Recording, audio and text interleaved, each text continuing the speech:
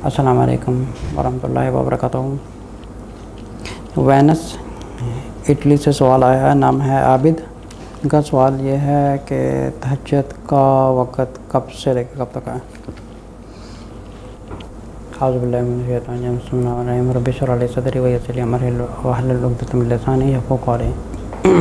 देखिए, जो तहजद का वक़्त होता है, हर मुल्क में एक टाइम का हिसाब और हर कंट्री का अलग अलग ईशा का टाइम डिफरेंट होता है। तो जो तहजद का वक़्त है, जहाँ पर ईशा ख़त्म होती है, जो हम ये तीन वितर पढ़ते हैं ईशा के बाद अच्छा जो लोग तहजद नहीं पढ़ते उनके लिए है कि वो ईशा की नमाज़ के बाद तीन वितर पढ़ के सो जाएँ। लेकिन जिन लोगों को तहजद की आदत है ठीक है वो लोग जो तीन वितर है, या तो वो ईशा के बाद पढ़ सकते हैं, या वो तहजद के बाद पढ़ सकते हैं। अब जो तहजद का जो जो वक़्त है, ये ईशा से लेके जो आप समझें कि जो फजर के टाइम तक होता है, इस टाइम के दौरान में आप किसी वक्त भी पढ़ सकते हैं। लेकिन जो रसूल सल्लल्लाहु अलैहि वसल्लम का जो जो मेजॉरिटी टाइम था, ज़्यादातर था, वो एक रिकमेंडेड है ऑन द कहते हैं कि third part of the night अब आप उसका जो एक टोटल टाइम है, जैसे 12 बजे से लेके आप फॉर एन एग्ज़ाम्पल अगर 12 बजे से लेके रात के 12 बजे तक का एक टाइम है तो इसमें हम ये देखें कि इसका जो जो जो मिडल वाला टाइम है, वो है छः बजे। ओके छः बजे से लेके बारह बजे तक नेक्स्ट टाइम हाफ़ क्या होगा?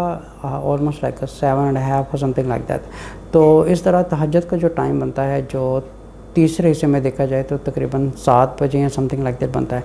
इसी तरह अगर ईशा रात को अगर आठ बजे होती है और सुबह फजर पाँच बजे होती है तो उसमें आप टाइम की कंपैरिजन करके देखें कि इस टाइम का जो हाफ़ है कितना होगा और जो जो थर्ड पार्ट है ये कितना होगा। ठीक है? उस थर्ड पार्ट में आप ज़्यादा रिकमेंडेड है कि जो रसूल वसल्लम ज़्यादा तहजद का टाइम अपना उन्होंने एक कंफर्म किया होता, ज़्यादा उसी टाइम पढ़ते थे। लेकिन तहजद का टाइम आप ईशा के बाद भी पढ़ सकते हैं। लेकिन बेहतर यह है कि in the middle in the middle of night आप आप तहजद पढ़ें।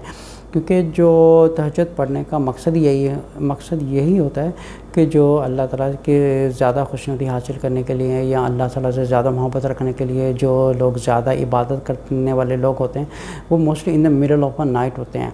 अब ये नहीं है कि हम अभी पढ़ के सो जाएँ तो इट्स ओके ये भी तहजद कबूल हो जाएगी। ठीक है तहजद तो कबूल हो जाएगी, लेकिन जो एक एक्चुअल एक एक सुनना का टाइम है, वो है कि आप सो जाएँ। ईशा के बाद और in the middle of a night या जो थर्ड थर्ड वाला हिस्सा का आप तब उठ के नमाज़ तहजद की पढ़ सकते हैं।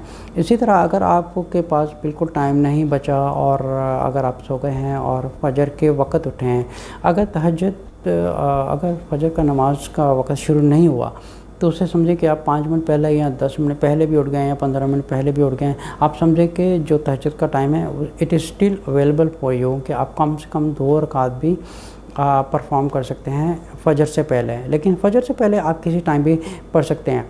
आप अगर फजर के टाइम भी उठे हैं ना तो आप फिर भी दो रकात तहजद की नीयत करके भी पढ़ सकते हैं। लेकिन आप इस चीज़ को एक एक रेगुलर मत बनाए कि मैंने ईशा के बाद तहजद पढ़नी है और फजर के टाइम तहजद पढ़नी है, क्योंकि तहजद का जो टाइम है it's in the middle of a night है। ये ना तो ईशा के बाद रिकमेंडेड है, ना फजर के टाइम रिकमेंडेड है। वो तब है कि कोई कोई वजह हो या कोई कोई सीरियस मैटर हो और आप इसको इस चीज़ का रेगुलर मत भी बने कि फ़जर में तो उठना ही है, और चलो ठीक है, उसी वक्त मैं तहजद पढ़ लूँगा। इस तरह नहीं होता, क्योंकि जो एक टाइम दिया गया तहजद का, वो है in the middle of a night जैसे सूरह मुजम्मल की अगर आयत पढ़ी जाए तो उसकी जो पहली आयतें हैं, उसमें तहजद का ज़िक्र आता है, या यूहल मुजम्मिल को मिल कलीला, और नसवा को सुमिनो कलीला, और ज़िद आलतलकुरान तरतेला इन्ना सुनकी आलम कौन सकीरा ठीक है अल्लाह ताला ने जो पहली आयतें हैं ये रसूल के, के लिए ख़ास अल्लाह ताला ने रखी थी। अच्छा आम मुसलमान के ऊपर पाँच वक़्त नमाज़ फ़र्ज़ थी।